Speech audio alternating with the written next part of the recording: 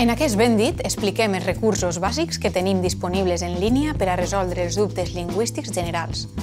L'instrument en línia més potent, en aquest sentit, és Optimot, consultes lingüístiques. L'Optimot ens fa una cerca simultània i immediata en un grapat de fonts alhora, diccionaris monolingües i bilingües per a equivalències al castellà o, des del castellà, diccionaris terminològics del termcat i repertoris d'onomàstica. A més, l'Optimot permet consultar dubtes de tots els camps lingüístics, l'ortografia, com ara l'ús del guionet, la morfologia, com el plural de currículum o de plus, la sintaxi, per exemple, ús de com i comà, el lèxic o la fraseologia, com ara quin és el nostre equivalent de la dita castellana a qui en Dios le ayuda.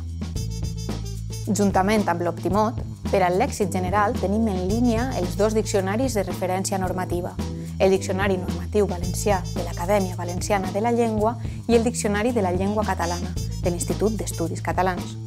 Hi podem recórrer quan tinguem dubtes sobre el significat o la forma exactes i formalment admesos d'un mot o d'una expressió. També és molt complet el Diccionari .cat, sobretot per a la terminologia científica i perquè aporta indicacions de l'etimologia i de la primera documentació del mot en qüestió.